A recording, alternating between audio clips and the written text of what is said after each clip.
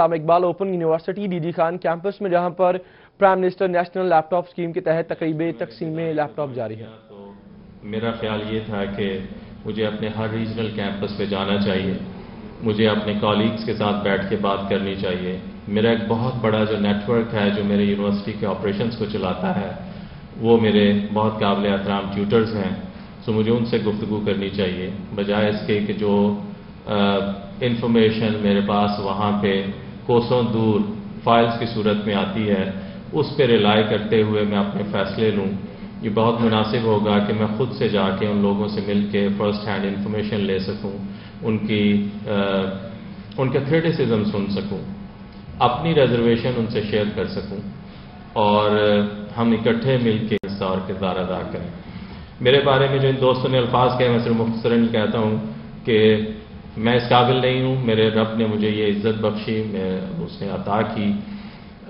میرے سے پہلے جو وائس چانسلر صاحبان تھے، آج علامہ اقبال اوپن یونیورسٹی جہاں پہ موجود ہے ان وائس چانسلر صاحبان کی کاوشوں سے یہاں پہ موجود ہے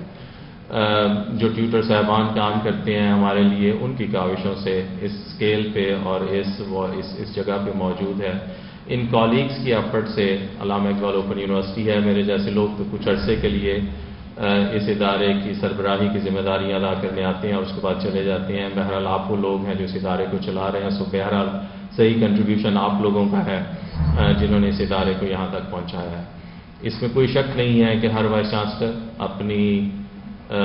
ایکسپرٹیز کے حوالے سے، اپنی اسٹریٹجی کے حوالے سے ویژن کے حوالے سے مختلف طرح کے پالیسیز بناتے ہیں اور اس کے مطابق ادارے کو چلاتے ہیں۔ اور بہرحال وہ اس وقت کے حوالے سے میرا ایک بڑا فرم بلیف ہے کہ اس وقت کے حوالے سے شاید وہی بہتر اسٹریٹجی ہی ہوگی جو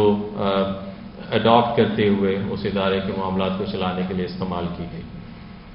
لیکن آج یہاں کھڑے ہو کے جن باتوں کا اظہار شیخ نعم اللہ صاحب نے کیا، میرے رجسٹرار صاحب نے کیا توفیل صاحب نے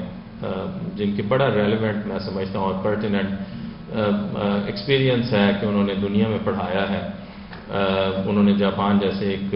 ترقی یافتہ ملک میں پڑھایا ہے، انہوں نے سعودی عرب میں ایک بہت ہی ہائیلی رینک یونیورسٹی ہے، کنگ سعود یونیورسٹی، میری ابھی بات ہوئی، انہوں نے وہاں پہ پڑھایا ہے۔ تو ان کے پاس کمپیرزن ہے۔ ہمارے تعلیمی نظام کو وہ بہت بہتر انداز سے دیکھ سکتے ہیں کہ دنیا میں لوگوں نے کس طرح سے کام کیا ہے، کیا کام کر رہے ہیں کوالٹی آف ایجوکیشن سے مراد کیا ہے ریلیونس سے کیا مراد ہے ایتھکس ویلیوز اور نارمس سے کیا مراد ہے؟ اور خصوصاً جاپانی قوم سے زیادہ شاید ان الفاظ کی اہمیت اور کوئی قوم نہیں جان سکتی آن ارتھ اگر ہم بات کریں۔